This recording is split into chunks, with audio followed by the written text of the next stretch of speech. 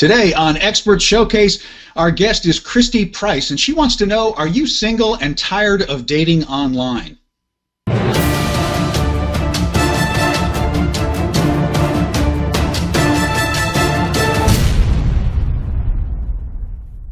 Kristi, welcome to Expert Showcase. We're so happy to have you as our expert guest today. How are you?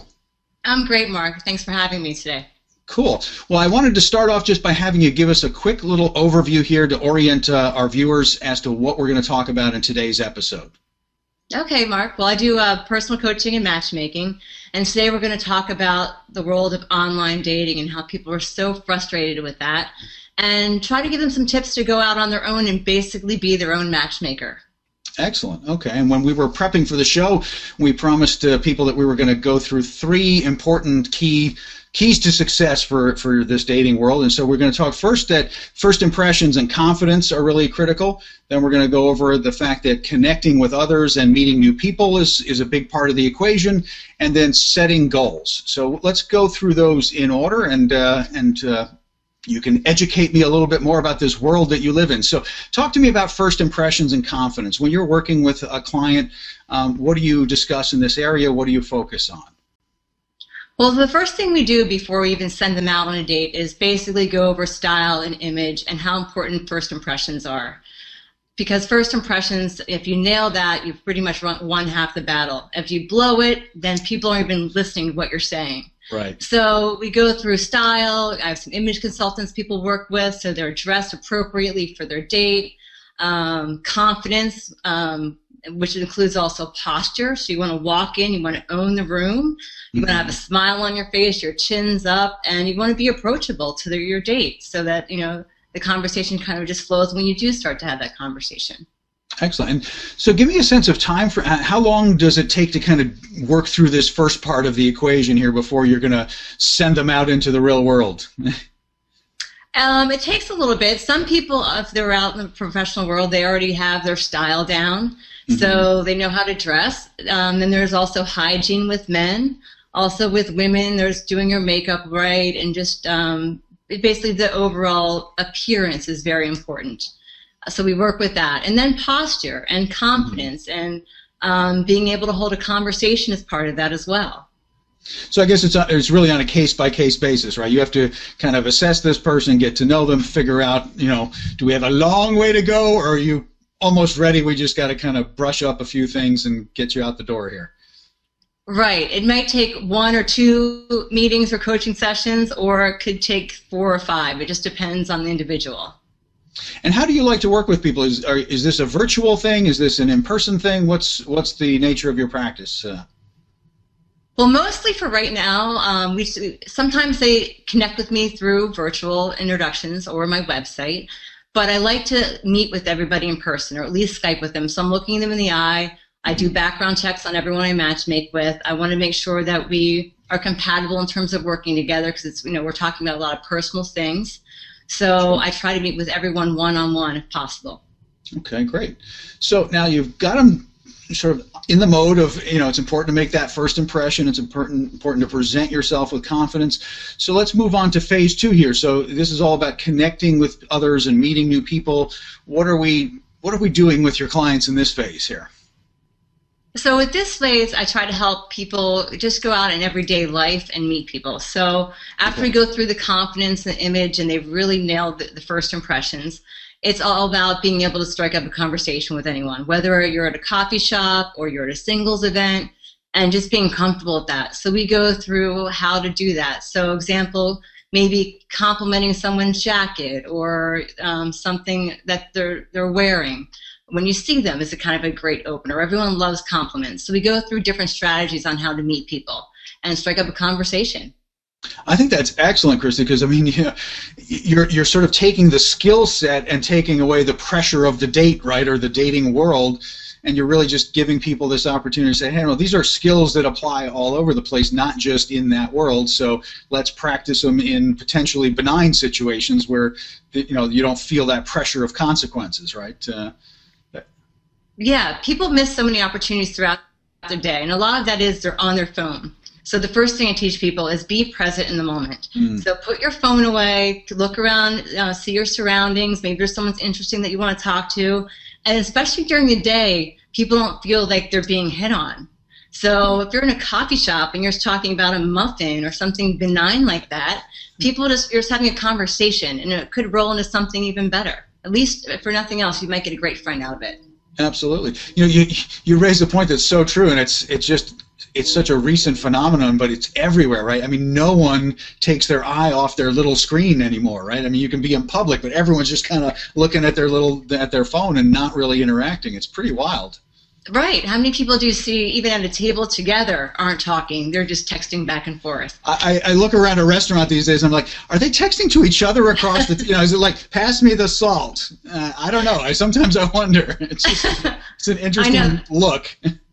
The art of conversation has kind of gone by the wayside for sure, and just connecting with people. So, and it's fun. If you take a fun approach and put your cell phone down, which I know is a little scary we're all attached to it and just try to have fun and talk to people. It, it can be a great great asset to your day. Great I, have got to confess I've, I've caught myself doing that any number of times. If i i'm in a situation where i feel uncomfortable you know i'll just pull that phone and just pretend to check my email you know? It's it's a, it's a great safety blanket but it, it's important to pry it loose from people's hands isn't it It is. It is. Unless it's a neighbor next door that just wants to talk your ear off, then right, you can exactly. pull it back out. right. Right. Then, then you put the the earphones in, and you look you look very very tired. You know, very busy and focused. So let's move on to your third point, which uh, you know is about setting goals. So what kind of goals? What are you working with with your clients when it comes to this this phase of the uh, of the operation here? well, there are two kind of sides to this. The one side is um, make a goal to meet one or two people every day. So, um, which forces you to put your phone down and kind of have, you know, have a kind of a goal on how many people. If you meet two people every day, seven days a week, that's they have a lot more opportunities than than not doing that and just going online or just meeting one person here or there. So we try to really have a plan on how are we going to meet new people, where are we going to meet new people, um, and we get that kind of structured. And then the other side to that is to know what you want in a, in a soulmate or partner. Soulmate, I'm not so fond of, but partner. Um, so you want to kind of outline that. You know, do the same values? Um, do you want kids? Don't you want kids? So you want to have that out and, and uh, basically outlined ahead of time, so you're not wasting time on the wrong people. Right. So have some criteria, uh, you know, in mind, so that you're, you know, you're not so random about this this whole process, right? And you're you're yeah. allowed to you're allowed to have criteria, right? I mean, it's exactly. I mean, we have plans and goals for everything else, right? So if I'm at my at my job and I think I'm going to become the CEO, I need to plan to get there. Right. And it's not going to just happen. People say love will just happen when you least expect it. Really? That happens in your career, and yeah. it doesn't happen that way. You have to plan ahead my, my joke is always, you know, I suppose statistically it's possible that the pizza delivery guy is the, is the man of your dreams, but probably not, you know. So if that's the most interaction you're having, perhaps you need to invite some other people to your living room or or get out of your house and go go engage a little bit, right? So or maybe that's a strategy to meet more people and he's actually a CEO of a big company. There you go. That's never going to happen. exactly. Probably not. He, he could be like that under that undercover boss guy who's just you know delivering pizza, but really he's he's the owner of the company, right? Yeah, right. That's a little creepy anyway. exactly. Exactly. Well, this is great, Kristi. I mean, I think this is such a valuable service. Um, you know, in some ways it sounds like ancient and old-fashioned, right? The idea of a matchmaker. I mean, I, I always think of something that happened, you know, a hundred or five or six hundred years ago, even in, in some village. But it's so critical in this day and age, right? Because we have all these connection tools, but we're not so good at connecting anymore. And I, I think it's great to have somebody that you can, you know, work with who's going to help you, give you some structure, some guidance, some focus, and and take all you know a whole lot of that anxiety out of the equation, right? So.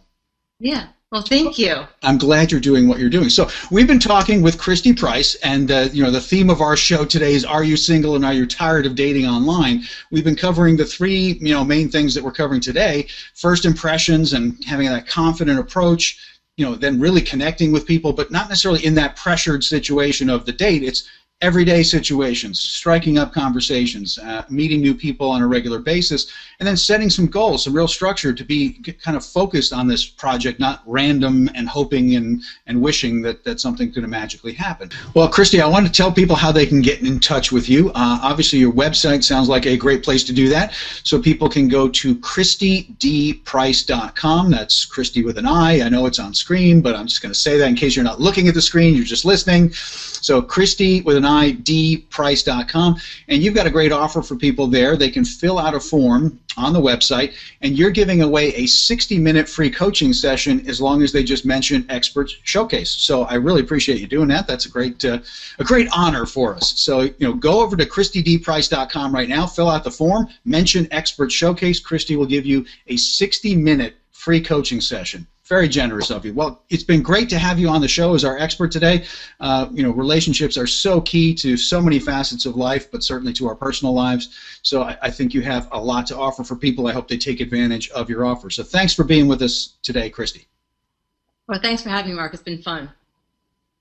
And another great expert showcase episode. Chris, what should people do right now?